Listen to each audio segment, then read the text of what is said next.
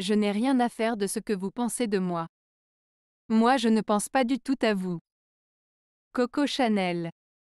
Cette citation de Coco Chanel exprime une grande assurance en soi-même, et une indifférence aux opinions des autres.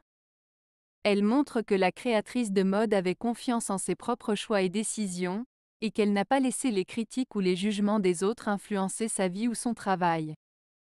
C'est une citation qui peut inspirer et encourager les personnes à se concentrer sur elles-mêmes et à poursuivre leurs rêves et leurs passions, sans se soucier de ce que les autres pensent d'eux. Elle rappelle que l'opinion des autres ne devrait pas déterminer notre propre estime de soi, et que la confiance en soi est essentielle pour réussir dans n'importe quel domaine.